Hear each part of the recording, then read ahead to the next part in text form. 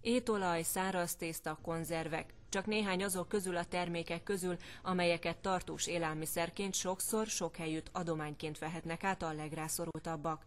Dr. Hörcsik Rihárd Fideszes országgyűlési képviselő elmondta, ezeket is kivétel nélkül megadóztatta az előző kormány egy korábbi 2008-as döntése nyomán.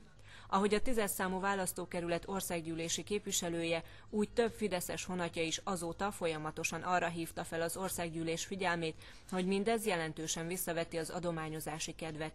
Így az még inkább hátrányosan érinti a rászorulókat. Egyes beszélések szerint az adományok megadóztatásával évente mintegy egy másfél milliárd forintnyi bevételre tetszel a központi költségvetés.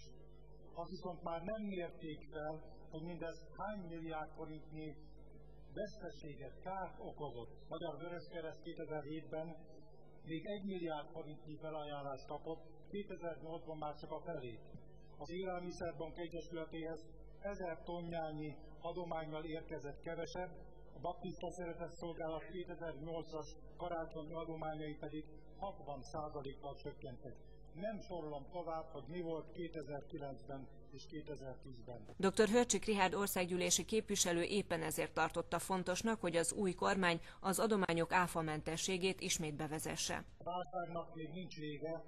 2008 óta nagyon sokan kerültek kilátástalan anyagi helyzetbe. És ahogy elhangzott itt képviselőtársaimtól is, itt volt és itt van az árvíz, ami újabb nehézségekkel növeli sok ezer családnak a helyzetét, például Szűkebb Pátriánban, Borsodabói Zemplén megyében is.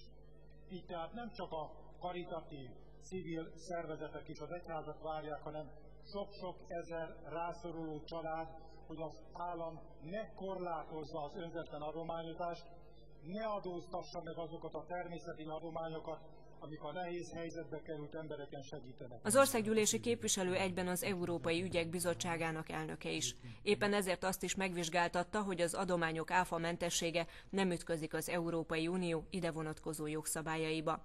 A többszöri felszólalásnak végül meglett az eredménye, emelte ki, hiszen a Fidesz kormány június 14-én ismét adómentessé tette az adományozást.